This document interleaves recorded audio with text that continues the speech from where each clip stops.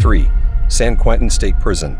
San Quentin, California's oldest jail, opened in 1852 and remains one of the most infamous penitentiaries in the United States.